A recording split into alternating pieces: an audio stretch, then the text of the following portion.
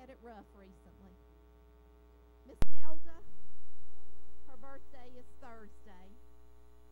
Send her a text and tell her how much you love her and happy birthday. We love you, Nelda. And I have a card to read for you today. With all our thanks, we want you to know that we're grateful for your kind and considerate ways, and we thank you for being so special. It means more than we could ever say. Thank you so much for all the calls, prayers, and just being there for our family during our time of need. You're all God's blessings to us. Levi Yao and family. They're all very special to us. Well, today's a special day, isn't it? Palm Sunday. Yep. You think about Palm Sunday, and the first thing that pops in my mind is the picture of Jesus on that donkey, right? And those palm branches laid out in the path, cloaks thrown in front of him. People shouting, Hosanna, right? Blessed's the name of the Lord. Hosanna. It's the first day of Holy Week. Pray and meditate. Hosanna. I hope you recognize who the true King is and that your soul shouts for him this week.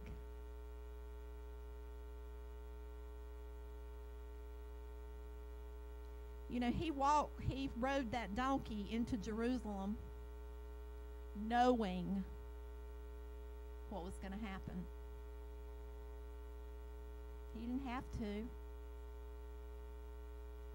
But he carried all the love and the grace and mercy that he needed with him. You know, he loved us so much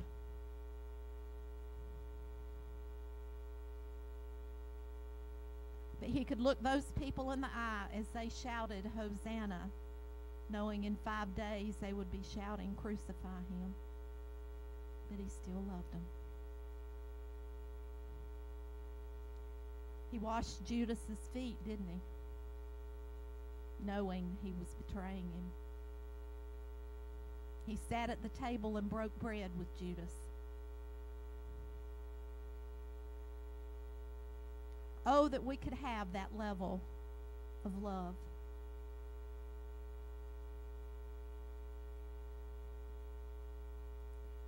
I pray that you spend some time this week studying and reading on Jesus last week on this earth.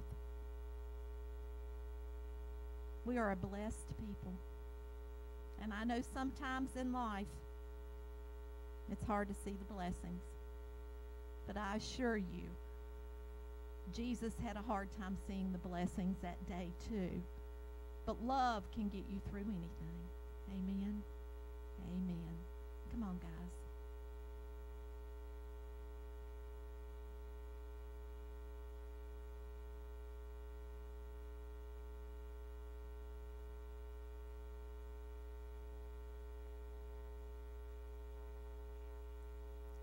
Gracious Heavenly Father, we come to you today, Lord, with thankful hearts for another day. Lord, another opportunity to gather and to praise you, to thank you, Lord, for the many blessings that you bestow upon each and every one of us. Lord, we've been hit with so much sickness, so much pain. I pray, God, that you wrap your arms around each and every one here who has a need in their heart, in their mind, in their life, whatever the need is. Lord, I pray that you wrap your arms around them right now. Give them a tight squeeze and let them know that you're there and you will be there on their journey.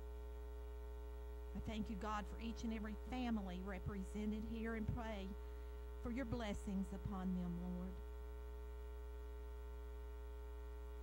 God, we just thank you so much for the cross, for what Jesus did, for the amazing love, your grace and your mercy. God, we ask your hand upon the singers as they stand before us to lead us in praise of you today. Jeremy, as he presents the word that you gave him to share with us. And Lord, we ask the Holy Spirit to move freely among us today, Lord. Minister to those who have a need, who have, whether it's physical, financial, spiritual, emotional. God, I pray you minister to them. We love you, Lord, and we will give you the praise, the honor, and the glory in all things, no matter what. I love you, Lord. In Jesus' name we pray. Amen. Let's praise God today.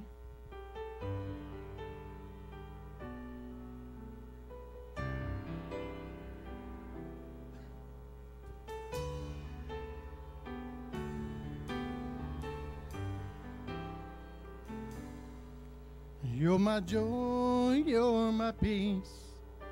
You're my comfort in time of need. You're my refuge, you're my rock. You're the one I depend on. You're the road you hope when this light grows dim. When the waves of doubt comes crashing in. You're the anchor in this troubled storm, Almighty God. You're my joy, you're my peace. You're my comfort in time of need. You're my refuge, you're my rock. You're the one I depend on. You're the road to hope when this light grows dim. When the waves of doubt comes crashing in. You're the anchor in my troubled storm, Almighty God. You bore the cross, you bear the scars. You're my bright and shining star. You gave me sight that I might see the kind of man that I should be. You came to die and set me free, Almighty God. You bore the cross, you bear the scars. You're my bright and shining star. You gave me life that I might see the kind of man that I should be. You came to die and set me free, Almighty God. You're my joy, you're my peace. You're my comfort in time of need. My refuge, you're my rock. You're the one I depend on. You're the road to hope when this light grows dim. When the waves of doubt comes crashing in. You're the anchor in my troubled storm. Almighty God.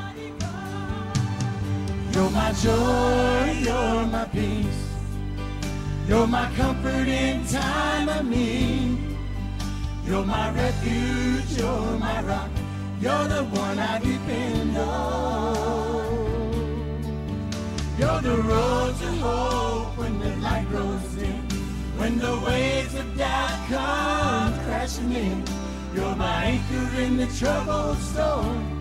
Oh, Almighty God. You're my joy, you're my peace. You're my comfort in time of need. You're my refuge, you're my rock. You're the one I depend on. You're the road to hope when the light grows dim. When the waves of doubt come crashing in. You're the anchor in my troubled storm, Almighty God.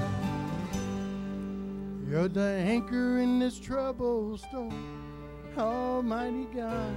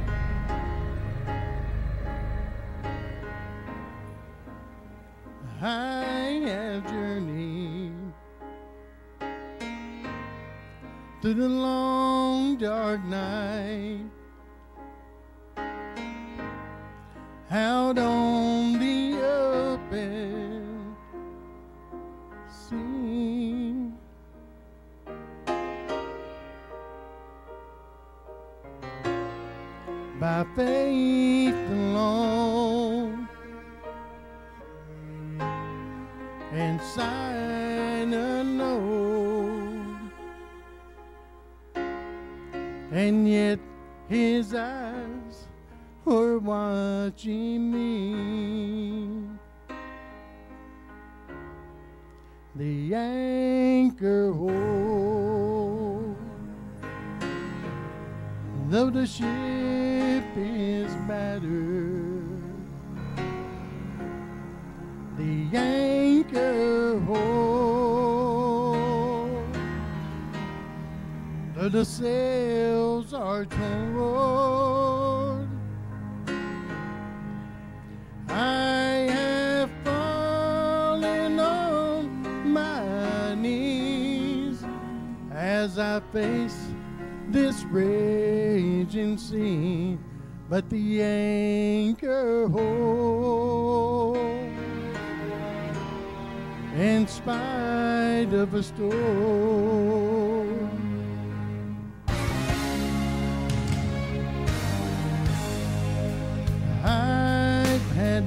Visions and I've had dreams. I've even held them in my head.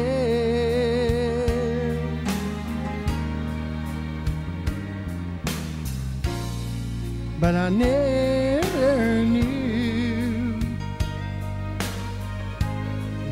would slip right through. Like they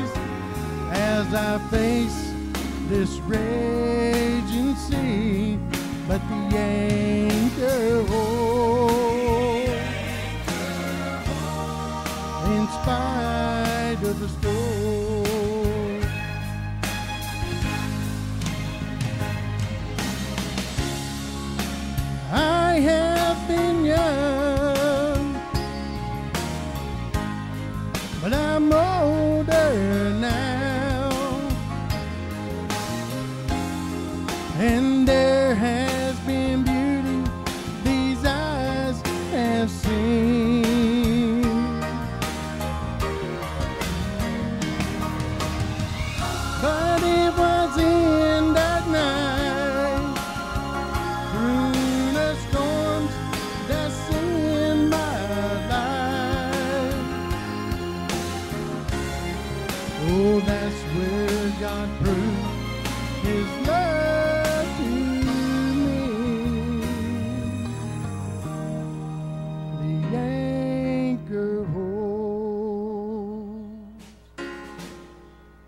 the ship is battered,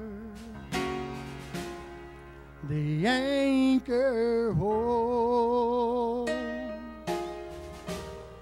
Though the sails are torn, I have fallen on my knees as I face this sea, but the anchor holds in spite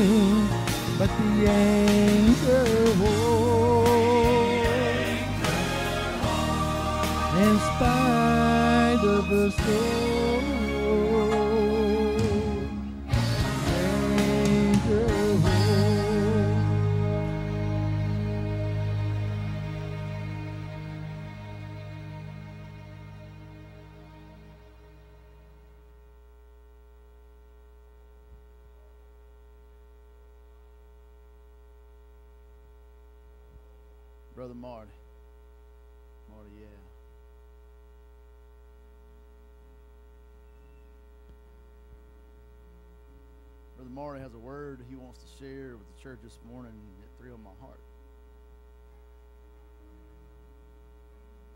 Brother Marty and Sister Tammy, they they sit back there on the back corner. You don't never hear a whole lot out of them, and uh, they've never caused me any grief. And I love them, and it thrills my heart whenever he comes to me and says, I have a word today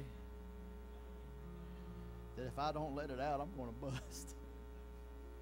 Y'all listen to what Brother Marty has to say.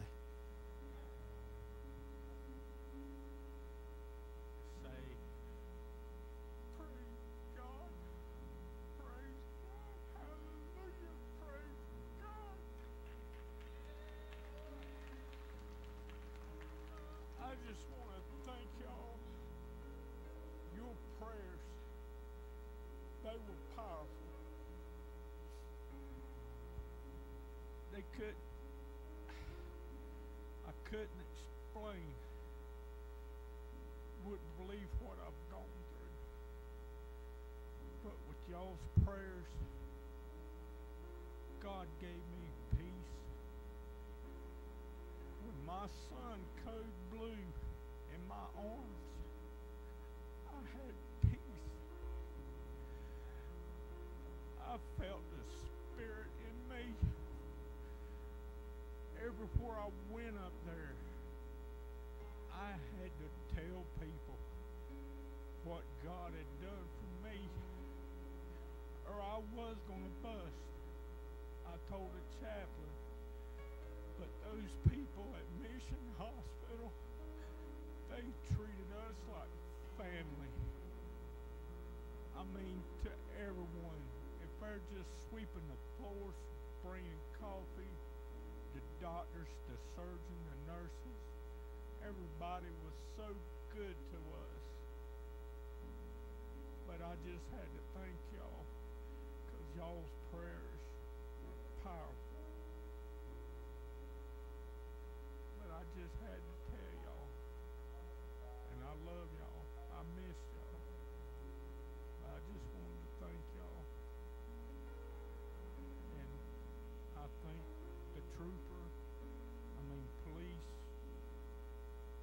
the first responders, everybody, surgeons, trauma, all of them. They done excellent job. But I'm, I told them I'm gonna miss y'all. I didn't come, I, I never would have thought I would have made such good friends in the hospital. But I said I will remember y'all in my prayers because they were so good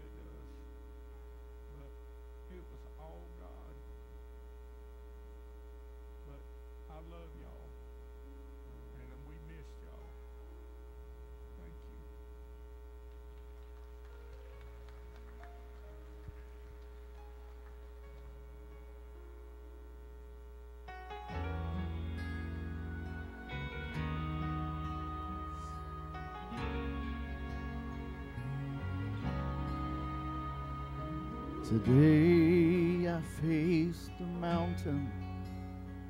Once again, it seemed so tall. I tried to climb. It seemed I'd surely fall. And so I knelt and called on Jesus. And as always, I felt his presence. His hands of mercy lifted me just in time. So I want to thank him and I want to praise him for his grace has been sufficient. And like before, he's given victory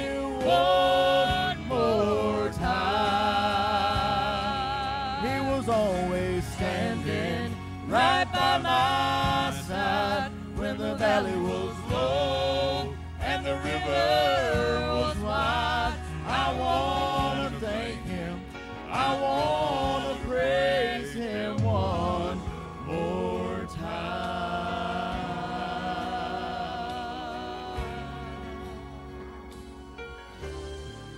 Now looking back on life's journey, since the day I first met him, so many times his love and mercy had to rescue me.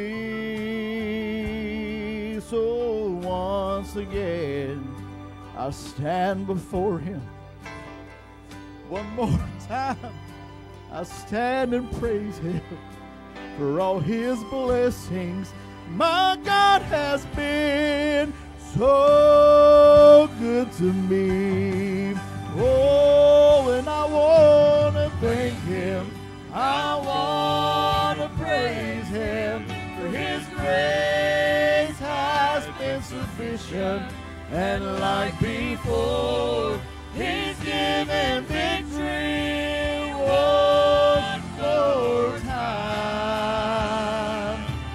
Was always standing right by my side when the valley was low and the river was wide. I want to thank him. I want to praise him one more time. He was always standing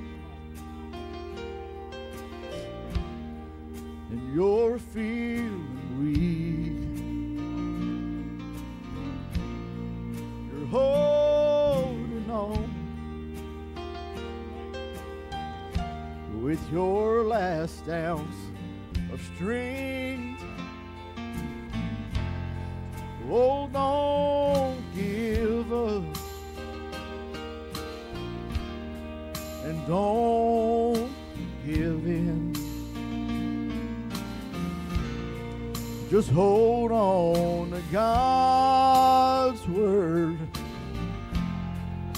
and just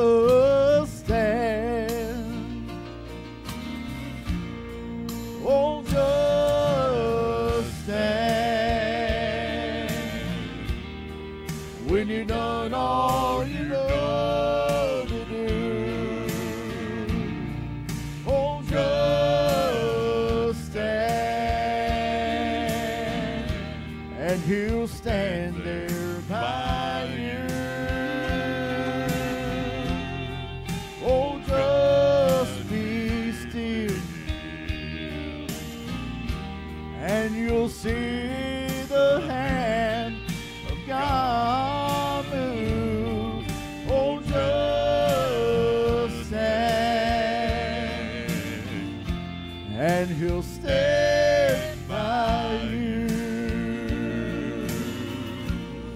Now we've all had troubles,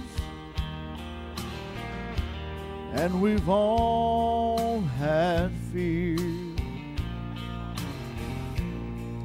And we've all had moments when we've held back our tears. But there's something special for in our darkest hour. Oh, it's there in our weakness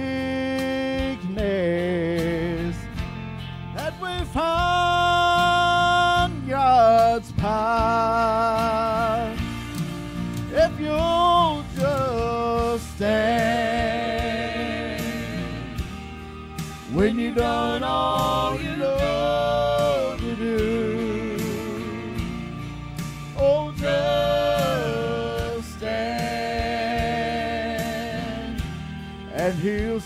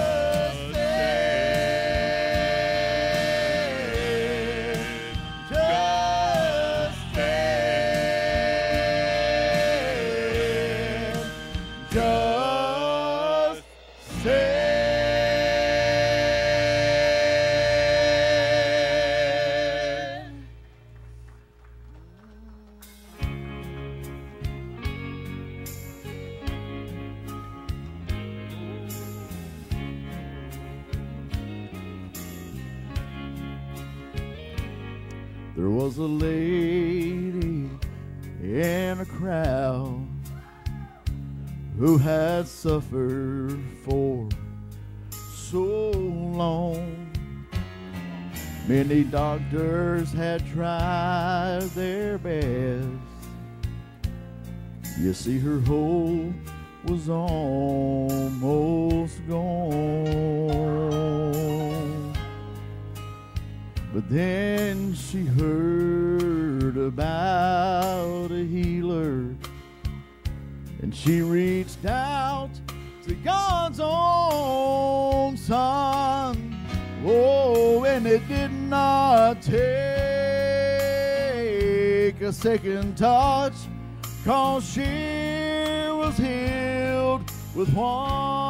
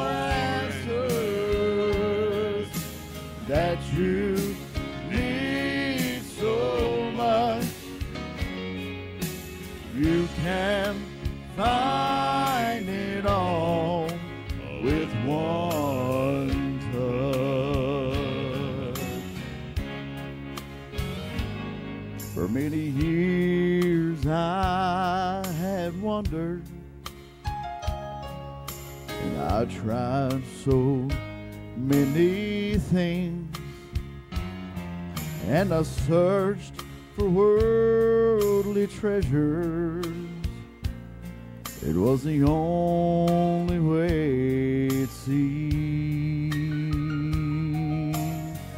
Oh, but I had overlooked the Savior. Cause I was too blind to see that after all I found the one thing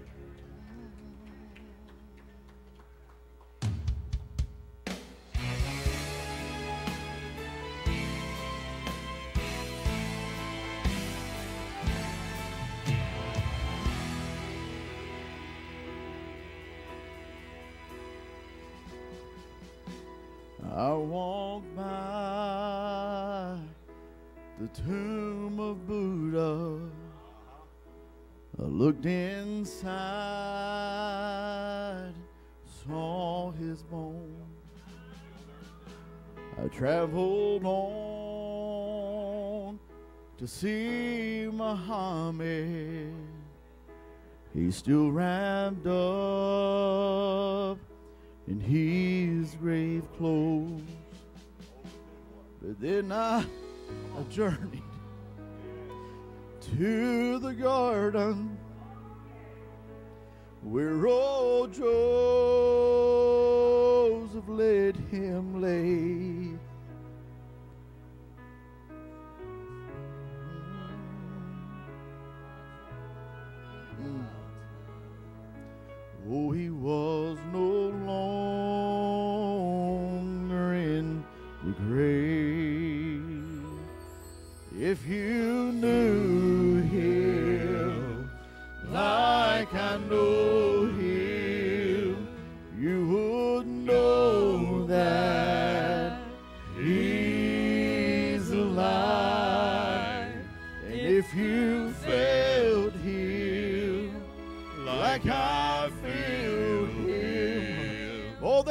resurrection deep inside.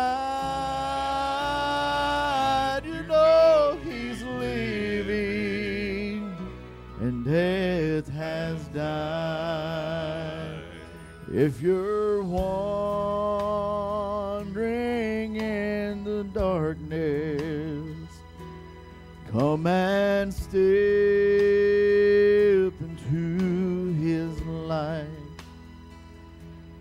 nail scarred hands reach out to help you, to pull you safe from death to life. Friend, I too have stood where you stand. Oh, could I trust in things unseen? Just one step in his direction. And then in love, he ran to me. If you knew him like I know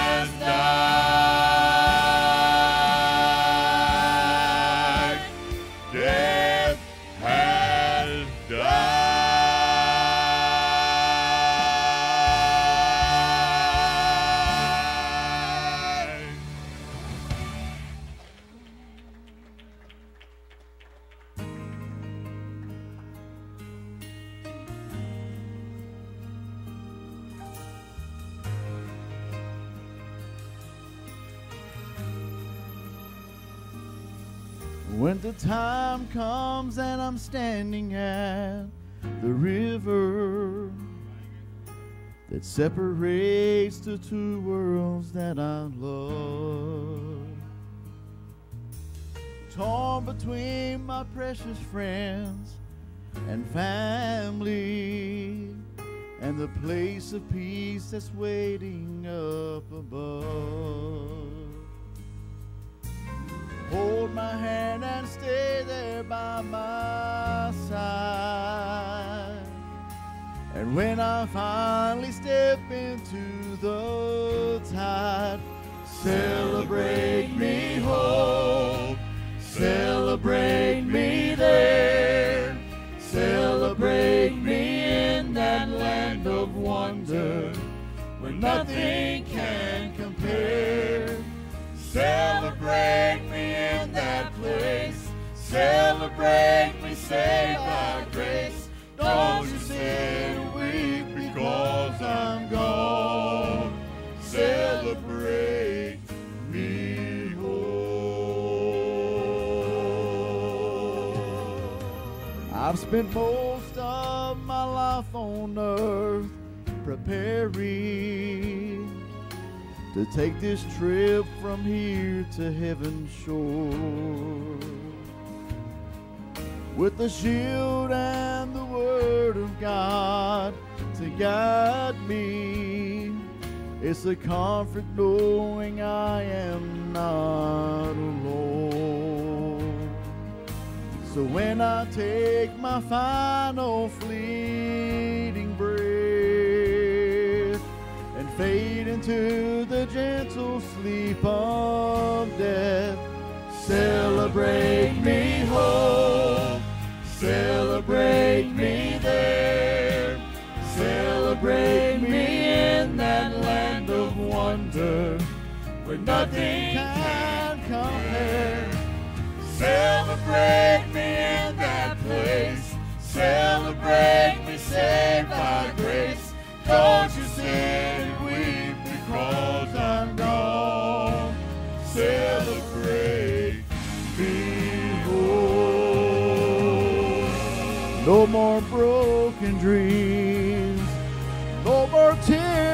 I'll cry. Into my father's arms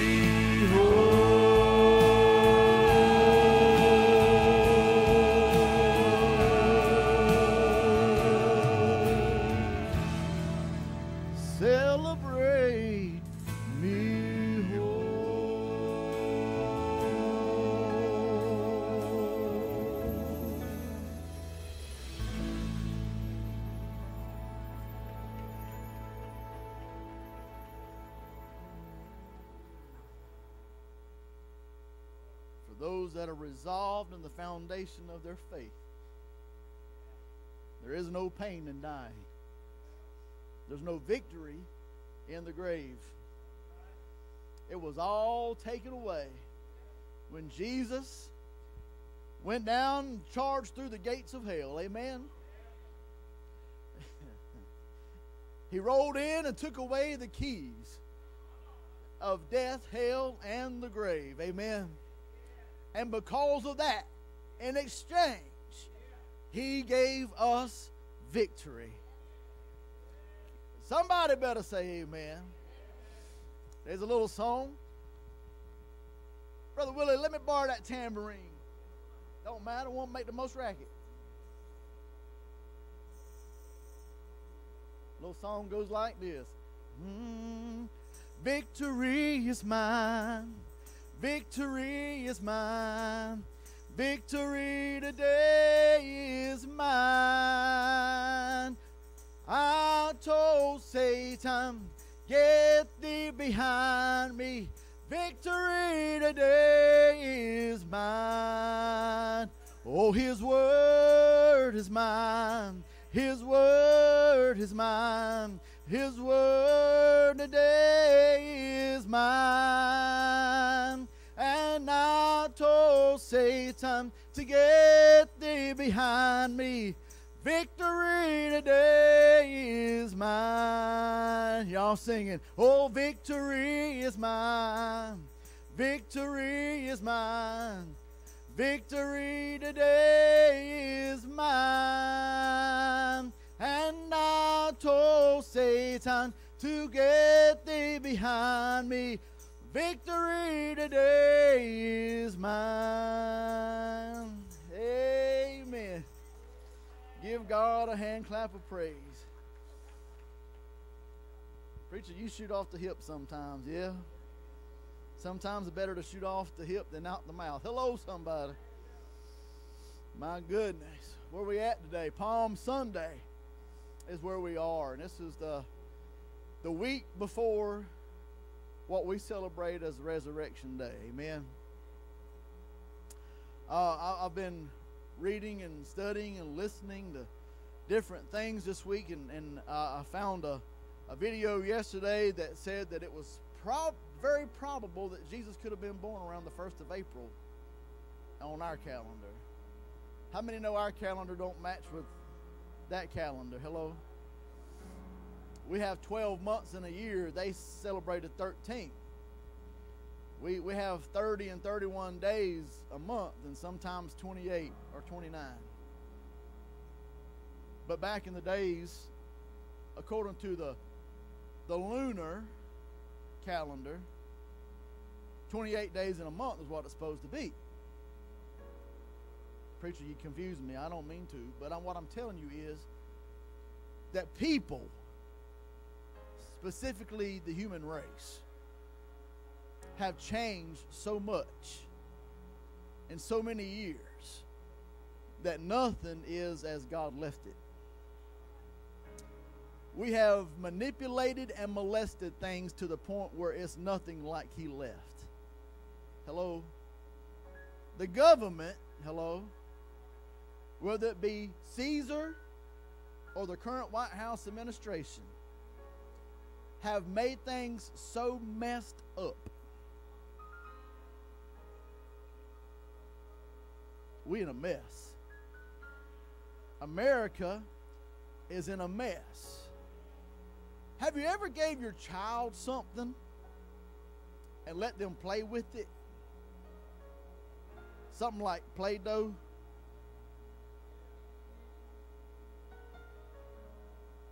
An ink pen. A paint and a brush.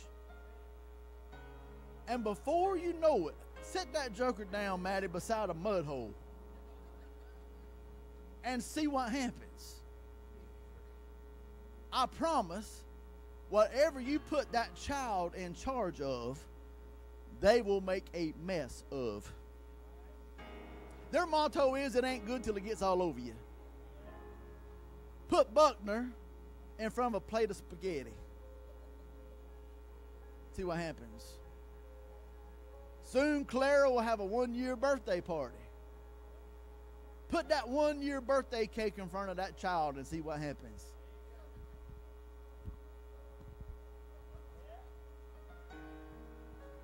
Whatever you put them in control of, they will make a mess of. So what happens? Maddie, you got to wipe.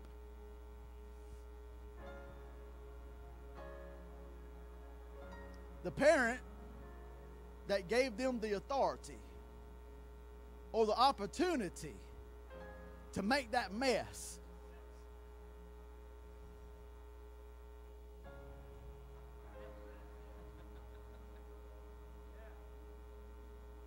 they have to step in and clean it up. At, around my house when I was a kid, my mama would always say, Wait till your daddy gets home. Because a lot of times we were to the point where mama didn't even want to mess with it no more. Now, when daddy got home, she'd come in there and say, I told you what your daddy got home. He's here now, buddy. You going, uh huh.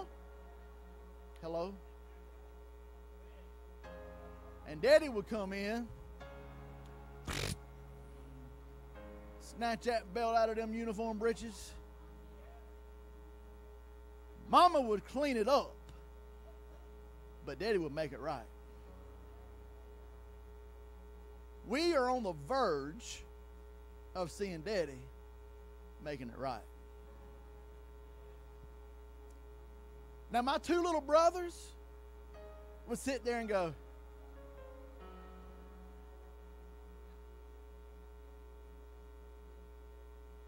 and daddy'd be wearing my butt out.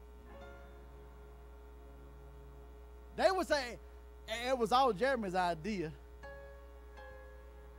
I've been known to make some bad ones. Hello, somebody.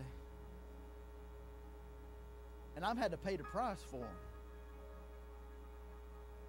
But there's going to come a time when people that have made decisions not to serve God will end up paying the penalty. And the church, which are believers in Jesus Christ, going to sit back like my two kid brothers and go, because we're found without spot. We're found without blemish. It's not because we're perfect by no means, but it's because we have been weighed in the balances and we have been found to be justified, cleansed, renewed, and redeemed by the blood of the Lamb. Well, that's good stuff. I don't care who you are. Pastor, is that your message for today? No. That was just extra. I want us to turn in the Bibles today to the book of John and chapter number 12. Y'all, y'all don't stand up, keep your seat, because I'm, I'm not going to read per se the verses. Heather's going to put them on the screen as we go through and as we make some uh, comments upon them. But I, I want, I'm going to give you the book report. Amen. In verse 1, we find where Jesus had went back to Bethany. This is a place that he had been and he raised Lazarus from the dead. Probably one of the greatest works that he had ever done. Verse 2 they made a supper. Martha served, and Lazarus sat at the table. In verse 3, Mary came with a pound of very expensive ointment. And the Bible says that she fell at the feet of Jesus with that ointment. And as she did, the Bible says that she wept. It says that she wiped his feet with the hair on his head, her head. So she wept. She washed. As those tears fell on his feet, she washed his feet with her tears. Come on, somebody. And the Bible says that she took the hair from her head and she began to wipe his feet. She didn't have a towel handy. Hello, somebody. So she used what God had gave her. And as she wiped and wept and she washed, the most important thing that she done was she worshiped. Amen. She knew who he was. She knew what he was capable of doing. Amen. Uh, we, we need to get to the place in our life where we recognize and we observe the ability that God has. Amen. He, what, what can he do? He can do all things. Amen. There's nothing that God cannot do. He can do all things, the Bible says, exceedingly and above all. What puts the limits on God? Would everyone please raise your right hand? We are the ones that put the limitations on God. The faith that we have in Him is what limits His ability to work in our life. If we would ever get to the point where we could overcome our fears and have more faith, then God could move on those limitations. Hello, somebody. There's no sickness or disease that God cannot cure. There's no problem that He cannot solve. There is no need that God cannot meet. We just have faith in Him, amen. What's verse number three say? Uh, verse number four. Oh, my goodness. Then saith one of his disciples, Judas Iscariot, Simon's son, which would betray him. Verse 5. Why was not this ointment sold for 300 pence and given to the poor? All of a sudden, Judas had become concerned about where the money was going. Hello, somebody. I, I think the government has proved to us that he who controls the money controls the people. Now, now they've got themselves convinced that people don't need money to be happy. But people have to eat. So if they control the food, they can't control the people. If they can control our health, then they will control the people. But you see, I, I don't have hope in monetary things. I don't have hope in things that I eat. I don't have hope in my own health. What I do have hope in is Jesus Christ, the Son of a living God that can do all things exceedingly and beyond. Amen. I think that if Walt Disney ever got anything right, whenever they put the words in Buzz Lightyear's mouth that says to infinity and beyond. That's what God is capable and able of doing. He can heal the hurt of your heart. He can heal the diseases in your body. He can wipe away your tears. He can give you joy that passes all understanding. He can do anything. The Bible says we have not because we ask not. More than that, we have not because we believe not.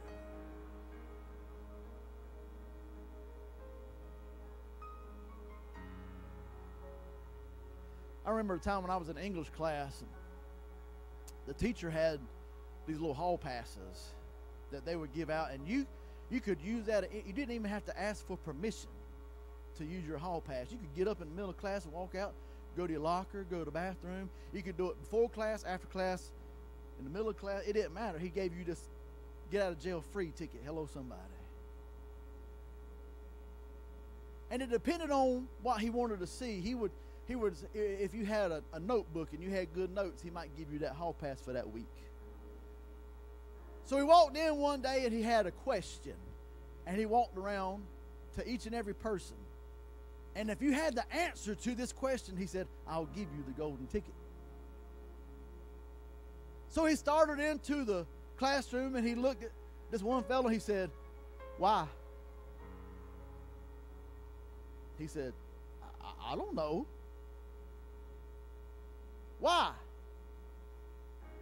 She said, Because? He said, Why? And everybody he went to had some kind of crazy answer. He got to my seat. Hello, somebody. He said, Why? I looked at him, I said, Well, why not? And I got the golden ticket. That was the answer that he was waiting on. For somebody to answer his question of why with why not. We, we go to God all the time, and our main question is God, why? Why me? Why this? And why now? And God answers you and says, Well, why not? Because if it wasn't you, if it wasn't me, then who else would it be? God knows that in this time, listen, we, we might think that we're vulnerable, we're weak, and we can't stand the test, but God knows that you have enough faith. God knows you have enough dependability on Him to see you over this hurdle and over this mountain. He knows that you have found grace exceedingly and abundantly above all things, and that's why God gives His hardest battles to His strongest soldiers. So when we work through, when we walk through diverse places, when we walk through temptation, when we walk through problems and hurt, the Bible tells us to be of good cheer. For he has overcome the world. Amen. You can see for 300 pence, I've done a little research. Amen. Sometimes you have to do your homework before you bring your oral presentation.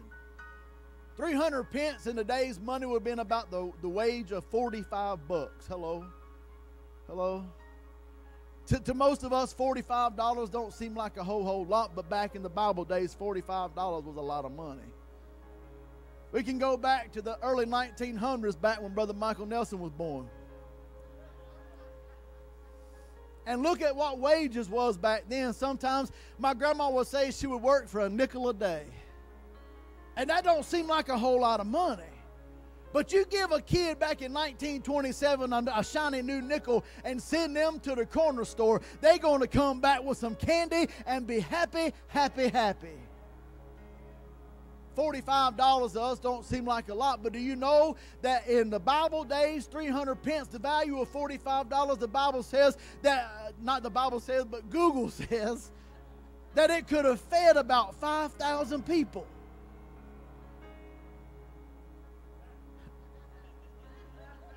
Side note, Jesus fed 5,000 people with just two loaves of fish and f- two loaves of bread and five little fish.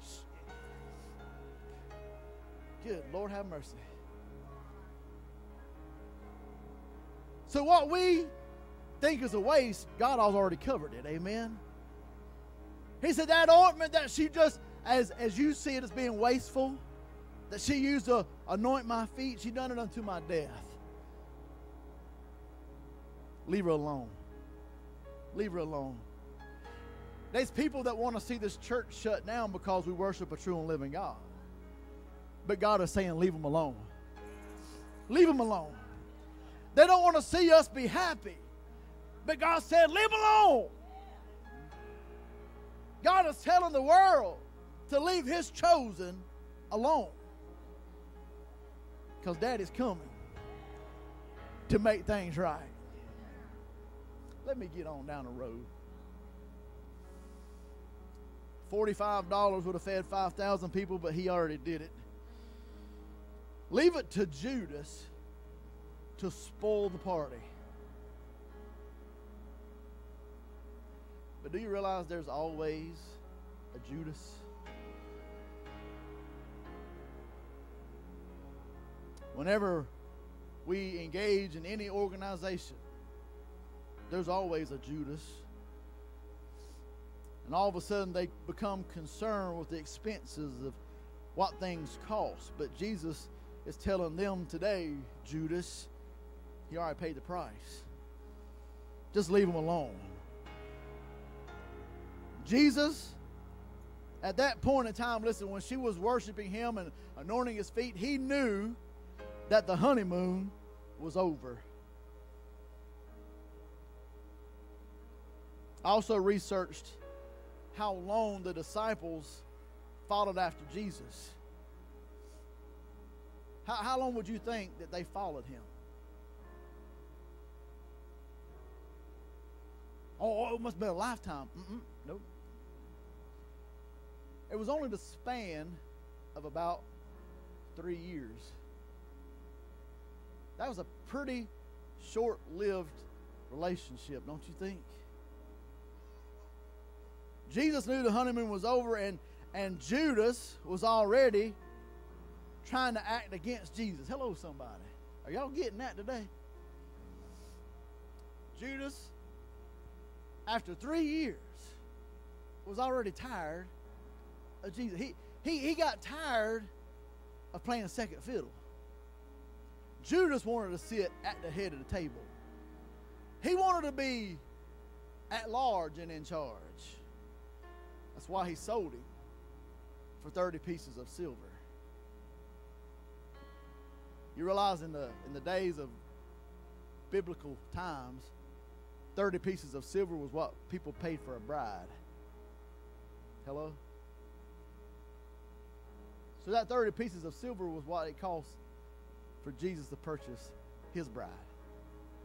Hello? Y- y'all ain't getting that. Well, my son-in-law come to me, and, he did. He, he come to me. He said, Mr. Johnson, he said, I'd like to have your daughter's hand in marriage.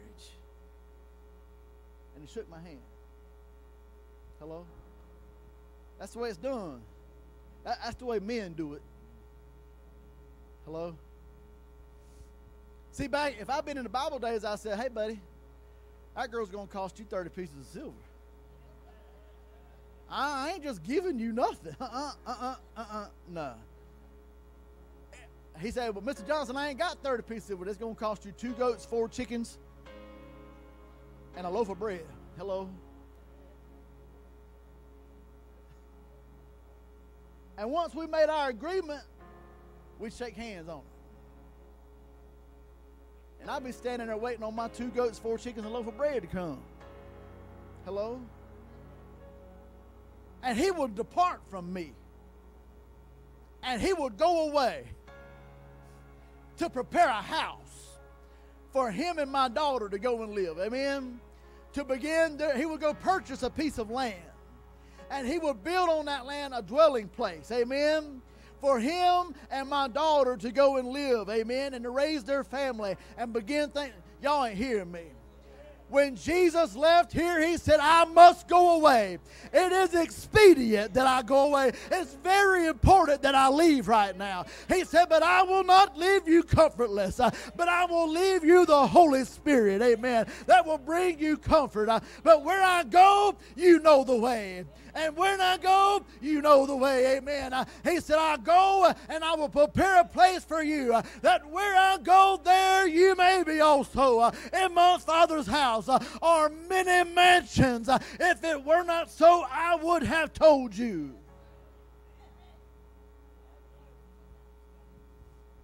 That's why he went away. He's preparing for us a mansion. If listen, if your Bible says rooms, I will place a waste receptacle at the back door for you today. And when you leave, close it and drop it in because that is not what my Bible says. My, it does not say dwelling places. It says, In my Father's house are many mansions. If it were not so, I would have told you. listen, I got a fairly decent house down here. They, some people got a nicer home than mine. But my house ain't no Hotel Six. Hello, somebody. I I go I go on vacation sometimes and I'll stay in a hotel, motel, holiday inn. Y'all don't y'all don't know that song? And I stay there for a temporary amount of time. But I can't listen, after about a week or so, I can't wait to get back home. That's my house. I, like it much better than the hotel down the road. Amen. But but God said, listen, He's got something better than that. It's not a room at the Holiday Inn Express. It's not a house on 108 South Poplar Street in Pageland, South Carolina. It's a place that is beyond anything I've ever seen in my whole life. I've been to the Biltmore Mansion. I've seen how nice that is. I've seen how the rich people live. I've watched the Titanic. I've seen the greatest and, and most grand boat that ever been built by hand, ever been programmed by man. But even then, it sunk to the bottom of the sea. Amen. What my God has built uh, is far beyond the imagination uh, that any man has ever been able to think of uh, to put his hands on. It's a place not built by hand, it's built by God. And that's where I'm going.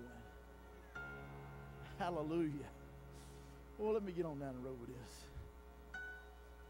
See, I, I, told myself this morning when, whenever I was looking over these notes, I said, I have got to stay on track today because there's so many sermons in this. People started together Look what it says in verse number 9. They gathered together. Jews therefore knew that he was there, and they came not for Jesus' sake, but they came because they might see Lazarus also, whom he had raised from the dead. They, they wanted to listen, they wanted to see for themselves. I've heard the story how he raised Lazarus from the dead. I got to see this for myself. Hello? It become a spectacle of sorts. People come listen because back in the day, y'all, seeing was believing. The Bible says, "Blessed is he that has not seen, but yet he still believes." I've not seen the face of Jesus. But Lord, I believe. I've not seen gates of pearl, but I believe they're there. I've not seen streets of gold, but I believe they're there. I've not seen walls of jasper, but I, I believe they're there. Why? Because I read it in my book. Hello, somebody. Oh, that's a fairy tale. I, no, no. I'll prove that here in a minute. It's not a fairy tale at all. They come to see Lazarus. Listen, and the next verses of Scripture we'll see where the Pharisees had met among themselves. Hello, somebody. They, they had a little a little chit chat, and, and they said, "Hey, you know what? I, I think we should do. I think we should kill Lazarus."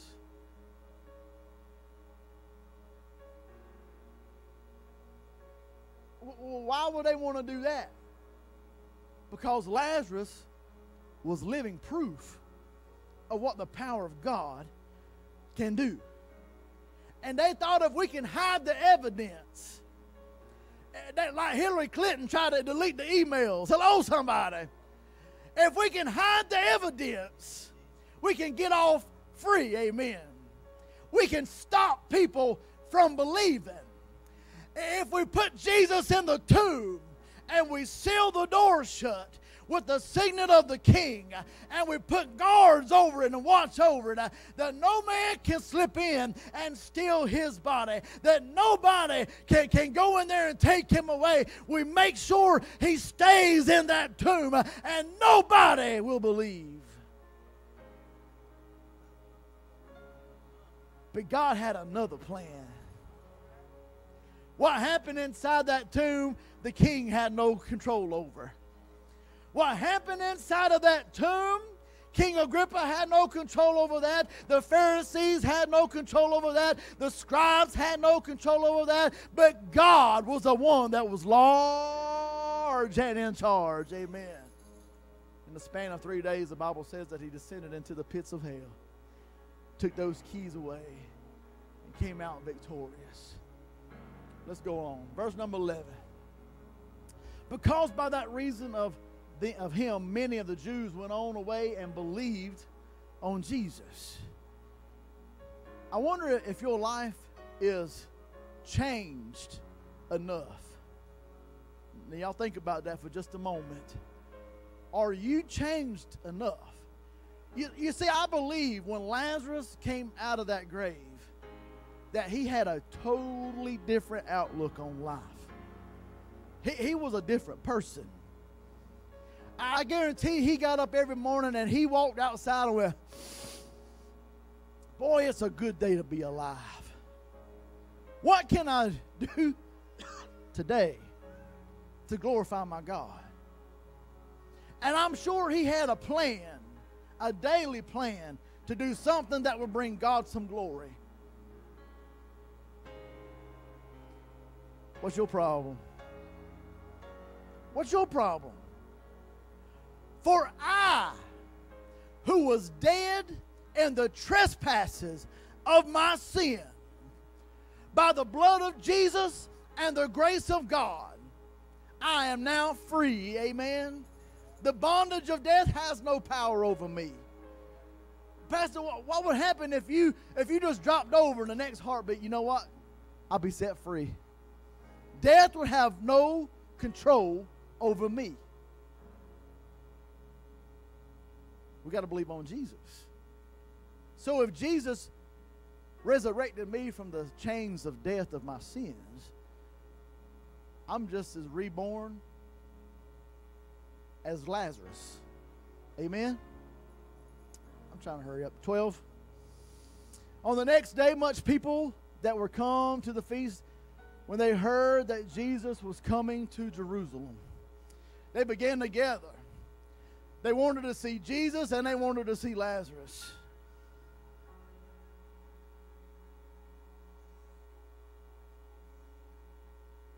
The next day, many people come to see. It, listen, it was the feast. It was the Passover feast. I looked it up to see when Passover was this year. It's April the 22nd through April the 30th. Why is it so late in the year? I, I don't know. It's they tried to go on to describe it to me why it was the way it was. But listen, wouldn't it be something and if at the Passover feast we wasn't even here? Everybody's looking for this April the 8th solar eclipse. Is it going to be something big? Could be. The government thinks so. They put National Guardsmen in Texas and Oklahoma. Why would they send National Guardsmen to those places if it was just going to be another solar eclipse? Something is about to go down. Hello? Whether the government going to act stupid and start something, I don't know. Or maybe they really know that God is real. And they're expecting for that solar eclipse that's going to make that perfect cross across the United States that's going to pass through cities that are called Nineveh. Did y'all know that? Have y'all been looking at that? And where the the the, the clips come from seven years ago to the one that's coming on April the 8th, they cross into a place that is called Rapture, Indiana.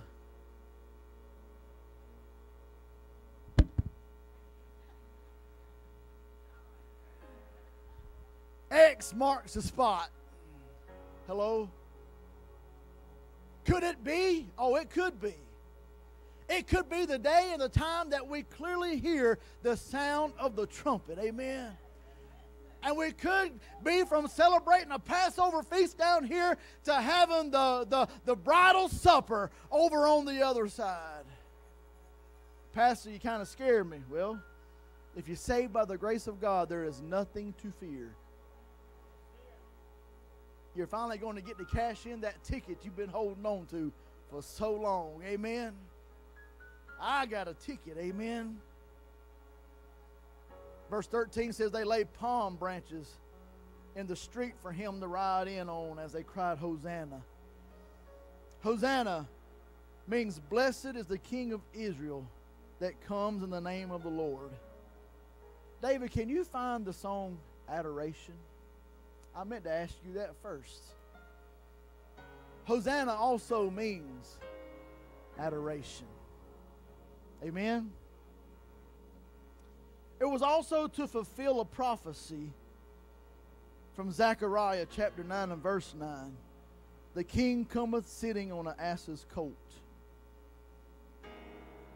Verse number 16, the disciples finally get it as they begin to see the prophetic word come to life.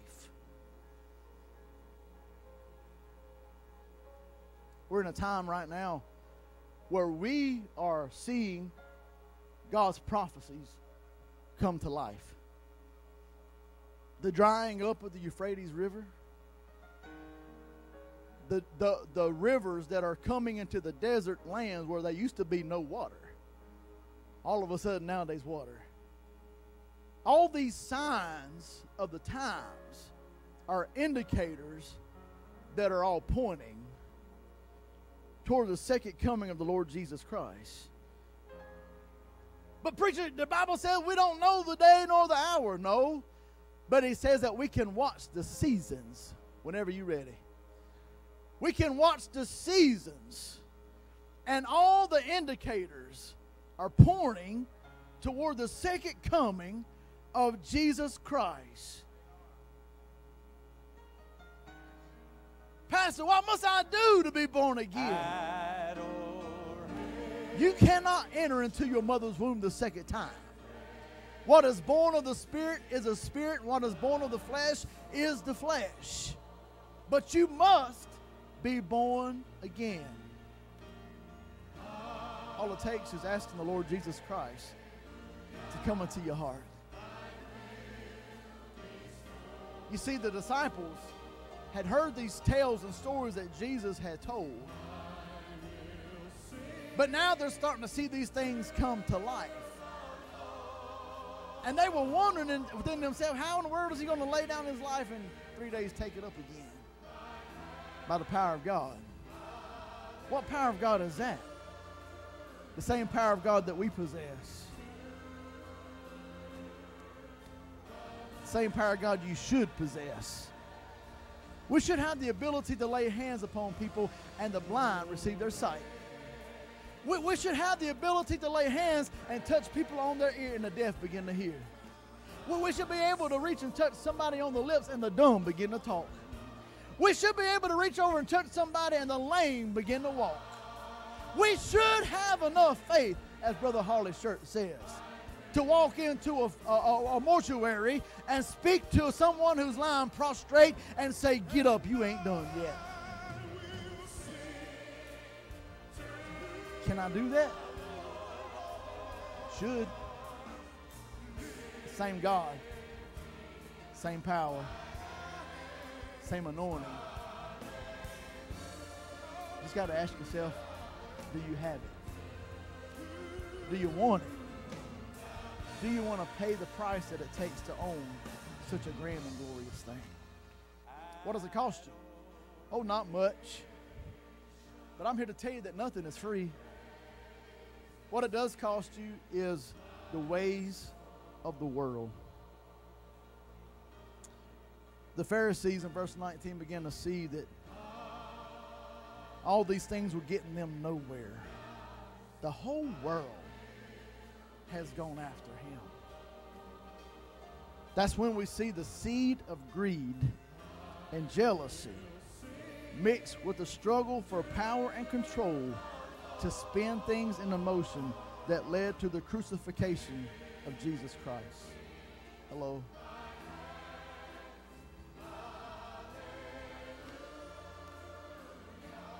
Hmm.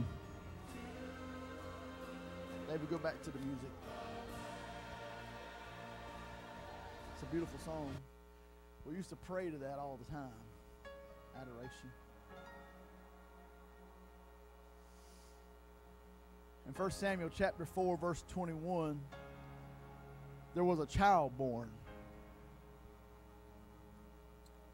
If y'all don't, if y'all y'all want to write that down, write that. 1 Samuel four twenty one. A child was born, and his name was Ichabod. What is what's what's that mean? Ichabod means the spirit of the Lord has departed. Hello.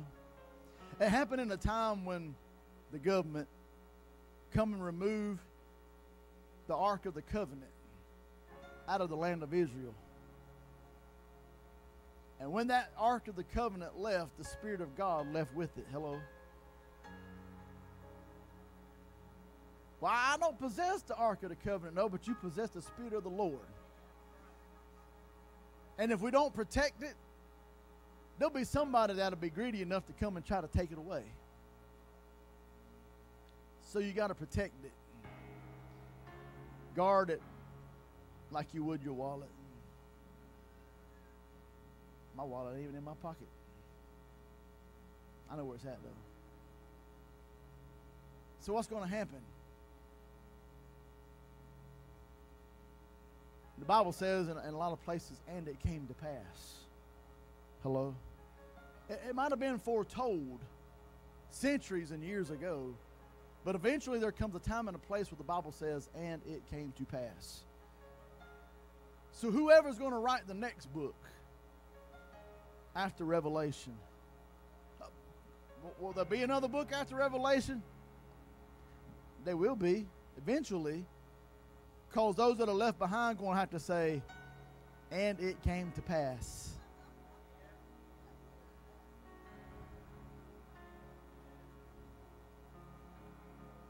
And they're going to have that same dumbfounded look on their face. They're going to be like,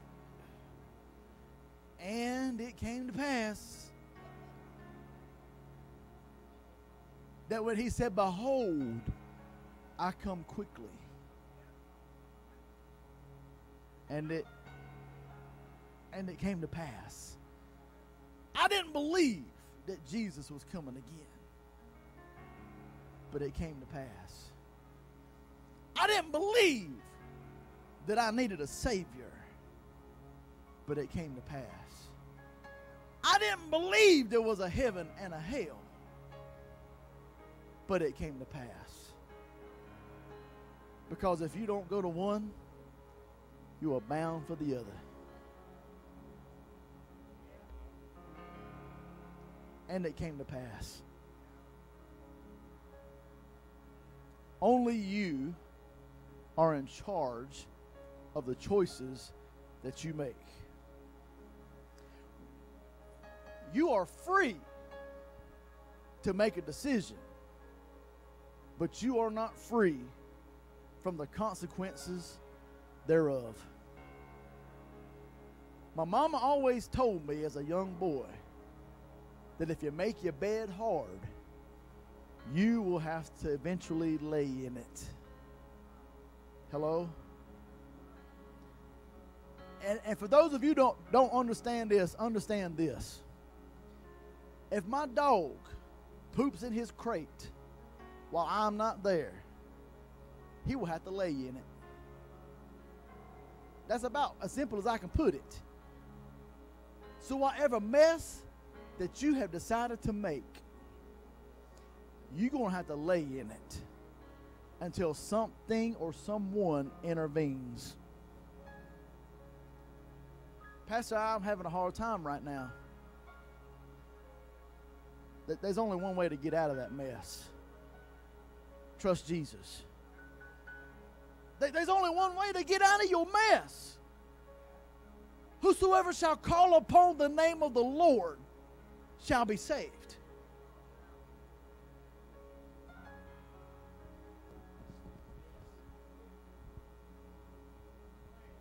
Young people, young people, hear me today. You think you got it all figured out, but your life is in a mess. You have a, you're, you're early in life and, and you have made some decisions that have ended you up where you are. Your mom and your dad, they try to talk to you and they try to they try to educate you. Because they don't want you to end up in a, in a dead end job somewhere. They don't want to. They don't want you to end up in a relationship that's going to cause you problems. They don't want you to end up in a place that you can't get yourself out of. It's all about choices. You know what the Bible says, Wyatt? You know what the Bible says about choices? It says, Choose you this day who you will serve. Whether it be God or whether it be man, it says, Make that choice. Peyton, when you walk up to a soda fountain and you have to make a choice, you're sitting there going, Oh, I like all these flavors.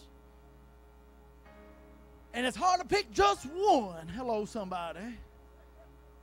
I've seen kids walk through there with their cup and get a little bit of this, and a little bit of this, and a little bit of this, and a little bit of this. And then when they try to drink it, it tastes like junk. Hello. How many's ever done it? We've all done it. We've all tried it. We said, I'm going to try a little bit of Pepsi, a little bit of Mountain Dew, a little bit of Cheerwine, a little bit of root beer, a little bit of Coke. A little bit. And when we get it, we can't even hardly drink it because it, it don't taste good. But after you done put the lid on your cup and walked away and you done left the restaurant and you riding down the road, guess what? You're going to have to live with the choices that you made. So later on in life, when we get to a place because we made decisions when we were young that put us in a place that where we are.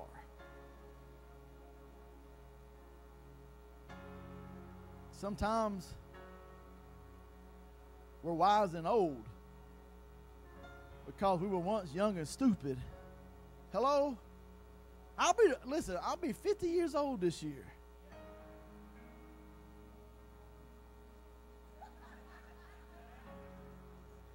Write her name down. I'll deal with her later.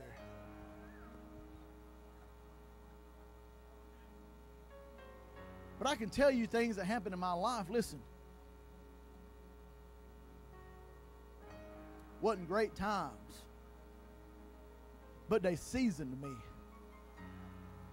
to be the person and the man that I am today. So when a young man comes to me and he tells me about a relationship that didn't work out, I feel you, boy. I feel you. When he tells me I spent the weekend in jail, I feel you, my boy. I feel you. I've been there too. I'm not perfect, but I am forgiven. That makes a difference it makes a difference.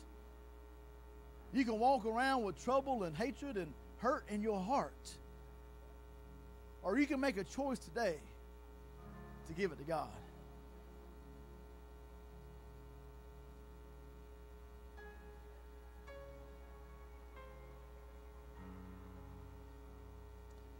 If this was a hand grenade and I pulled a pin and I said, catch, do you, do, do you see what he did? He tried to give it back. If I say catch, you to sit there and hold that hand grenade or you to throw it back? You crazy? Wyatt! Skylar! Umar! Robert!